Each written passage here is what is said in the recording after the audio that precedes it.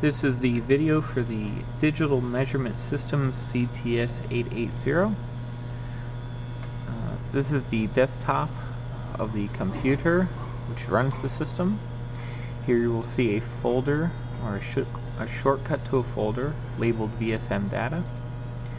If we open it, we'll find all our test results from the prior tests that have been completed on the system.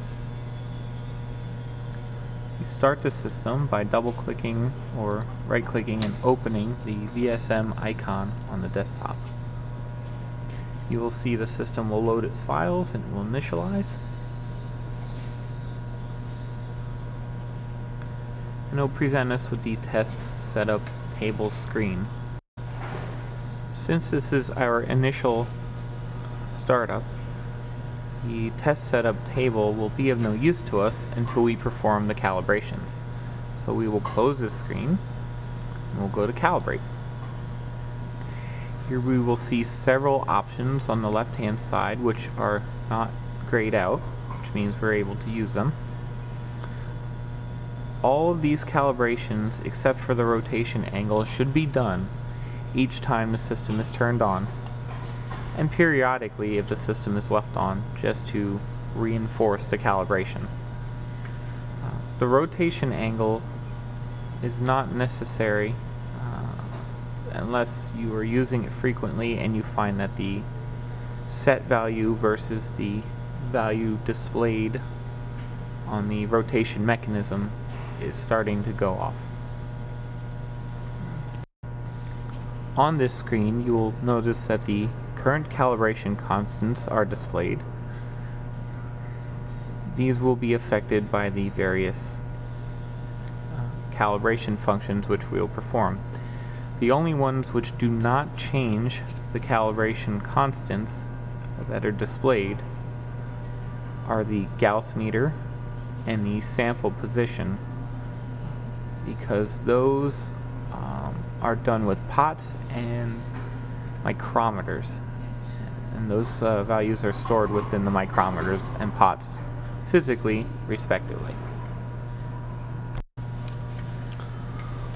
All calibrations are to be performed after the system has had adequate time to warm up. To prevent drift from the system warming, should allot for 2 to 3 hours. If you leave the machine on, it's not as necessary to wait because it'll already be thermally stabilized. The first function which we will perform is the Oersted's display calibration. This is an entirely automatic process. The machine first attempts to offset to zero Oersteds for the program field. What this means is it's trying to determine what set point it needs to give for the measured field to be zero. If you are looking at the front display now, you'll see that it's getting closer to zero. So after testing several several different settings, it'll determine which one is best and then keep that one.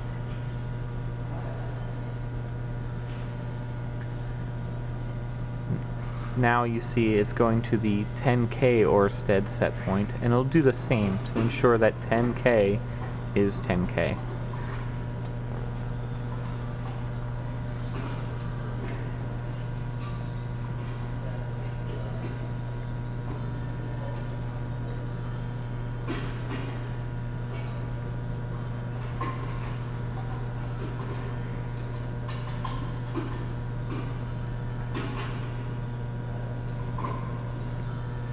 Once it is completed, it will exit as you've seen. That's the end of that one. The sample position calibration is only necessary when the dimensions of the sample holder have drastically changed or the sample type has drastically changed. Your uh, dimensions of your sample have changed drastically whereby the center would be shifted along the z, x, or y axis substantially you would want to do the sample position calibration. Otherwise, it's unnecessary. The X detector coil gain is another calibration function which needs to be done when all the others are done. In this one, you will make sure that the EMU of your standard is put into this box prior to hitting continue. Once you're ready, hit continue and the system will automatically do the calibration. Using the known EMU for the sample, it'll set the saturation field and then calibrate the EMUs per volt.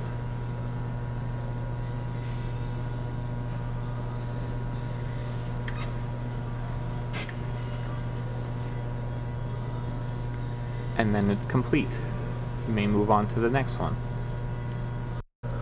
The final test is the detector offset, which you should do prior to starting your samples uh, when you have new sample holders. The detector offset will basically subtract the effect of the magnetic field caused by the sample holders from your sample when you measure your sample down the line. So it's important to do this. It's one of the methods which got rid of the symmetry problem uh, along the x-axis in the samples. I picked plus sat and minus sat because the book refers to them as having properties which would again reduce the symmetry problem across the axis.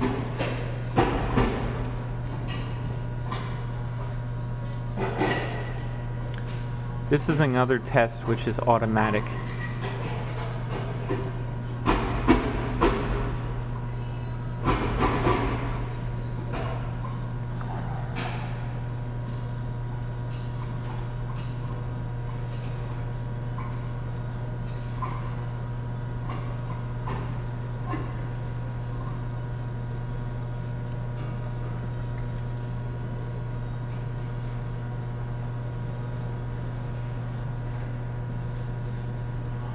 And as you see it completes and brings you back to the calibration screen. At this point you can close the calibration screen and we can move on to the measurement. To start testing we simply clicked on setup on the main screen there and it came up with our test setup table. The first step is if we do not have a, if we have a setup file already to load the setup file. In this case, I will choose the BASF because it has the parameters that we had agreed upon for our testing. Up here you will see that hysteresis loop is selected. We have a full loop, 6 segment, symmetrical. You see all the choices there. And then using that information, we have hysteresis loop 3 or 6 segment. We have a 6 segment, so this is the one we want we want to check the parameters, we just click on it again. And our parameters come up. You'll notice that the start field is 10k. So the first step is from 10k to 1500 in increments of 250 Oersted. Our second step is 1500 to negative 1500 in steps of 100 Oersted. And then our final step is negative 1500 to negative 10,000 in increments of 250 Oersted.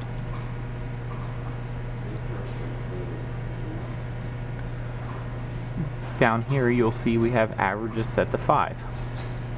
As you had thought, it will take 5 samples, average them, and then record the data point. I selected 5 because it took some noise out of, the out of the test. 1 will be a bit more noisy, 10 will be a bit less noisy. The more samples averages, of course, the longer the test time. We say not to exceed 100 for two reasons. One, the test time will be very long, and two, the benefit of noise reduction is greatly, greatly reduced when it's greater than 100 for the test time. Do not forget to set your mass. Up in the upper right, we have test identification. if you looked at the test uh, files which I gave you, this is where I put the information that said the etch time at 100C. Note under the file name, that's where I put the 14022 underscore 5. You have a limited amount of characters in the file name, so it would be best to put additional information in the test identification field because you're allowed more characters there. And I spelled standard wrong. There we go. You notice our current setup file is BASF. You should leave the save test file and save measure parameters checked so that you could refer to the parameters later and of course it'll save all the information after the test. Now one more thing before we go into the actual test is test parameters. These parameters will show up on your report. And most of them are based on measured values. Some are calculated based on inputs such as the mass and the volume. Down here is the list of the ones that have been selected. And as you can see, there's a large list of ones to choose from. Simply click on one, hit add or insert. You can adjust the geometry of the sample here. Again, used in some calculations. If you want to change the units, you may. Okay. Math functions, you see EMU empty sample holder correction. Recall from the calibration screen that we did the offset calibration. This is the direct result of it. Those numbers are used to offset it.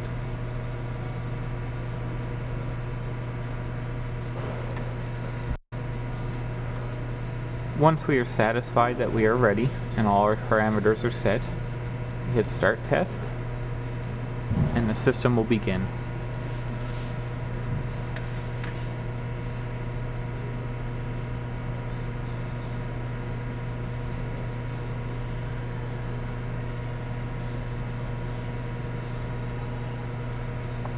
As you can see, the first task that the system performs is the auto-ranging of the EMU based on the saturation point of 10 kilo-Oersted.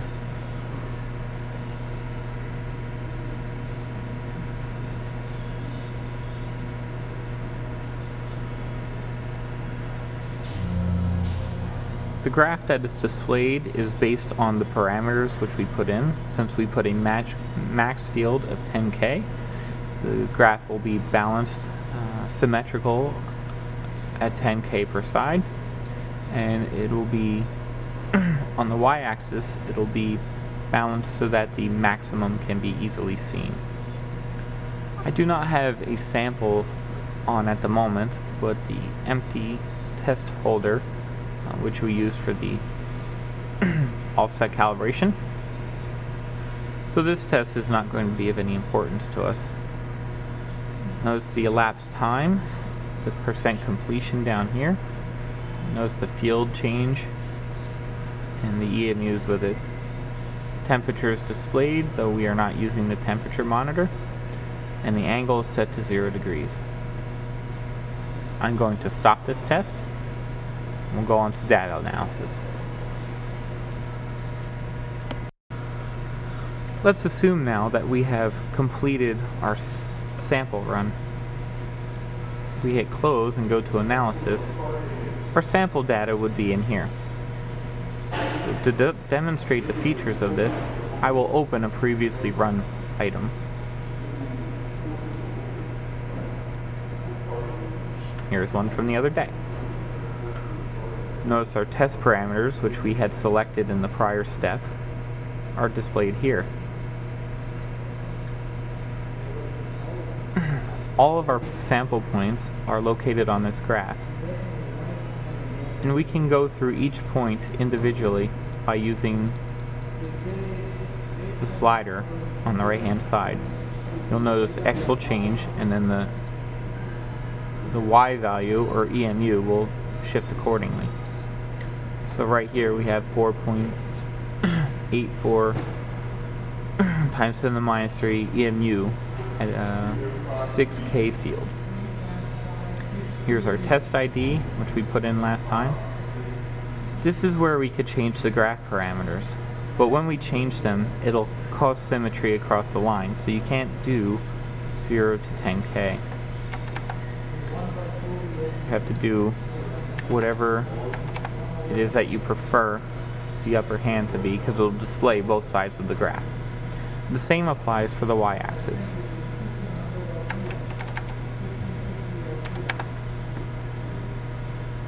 It will reflect it in the opposite side of the graph to keep symmetry across the axes.